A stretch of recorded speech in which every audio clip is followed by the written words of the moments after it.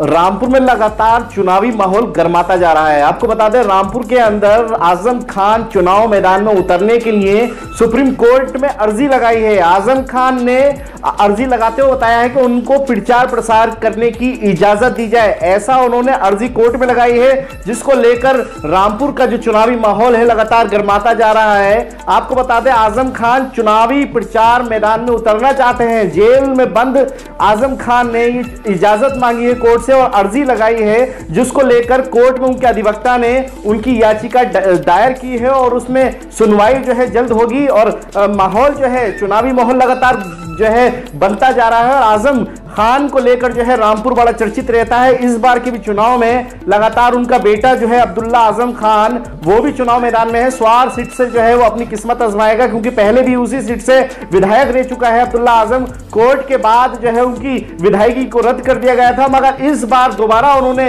अपनी किस्मत आजमाने के लिए मैदान में उतरे हैं। वहीं उधर आज़म खान जेल में बंद भले ही है, मगर नज़र उनकी रामपुर के चुनाव पे है, क्योंकि रामपुर में उनकी शाख है और उनकी इज़्ज़त का मामला है। इसको लेकर आज़म खान चुनावी माहौल में उतरना चाहते हैं और प्रचार प्रसार करना चाहते हैं। वहीं आज़म खान की तस्वीरों को भी जो है लगाकर चुनावी माहौल में उनको वोट मांगने की जो है कोशिश की जा रही है। आपको बता दें, इस बार बहुत दिलचस्प चुनाव होगा और आज़म खान जेल में बंद भले ही है, मगर चुनाव की जो चर्चाएँ हैं वो लगातार जारी है। मीडिया ने छावनी बना दिया है रामपुर को और लगातार उत्तर प्रदेश में 403 सीटों में रामपुर एक ऐसा जो विधानसभा में आता है जहाँ पर नज़र सबकी इसी सीट पर क्योंकि रहती है? यहाँ पर नूर महल से नवाब काजिम अली खान शहर विधायक हैं। यहाँ से सूत्रों की माने तो आज़म खान भी चुनाव यहाँ से जल्द लड़ सकते हैं। इसीलिए उन्होंने चुनाव प्रचार में जो है उनको बोलने का मौका दिया जाए उनको प्रचार करने का मौका दिया है ऐसी इसलिए उन्होंने इंटरनल जो रिलीजिंग के जो है मांग की है इसको लेकर